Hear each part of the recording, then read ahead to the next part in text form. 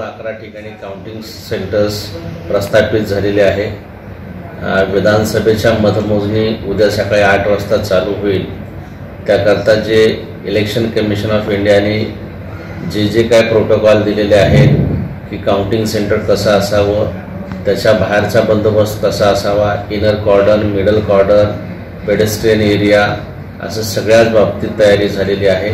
सर्व ठिकाणी counting supervisor आणि काउंटिंग असिस्टंटच्या नेमणुका झालेल्या आहेत. त्यांचे तीन तीन ट्रेनिंग देखील झालेले आहे ट्रायल रन देखील झालेला आहे.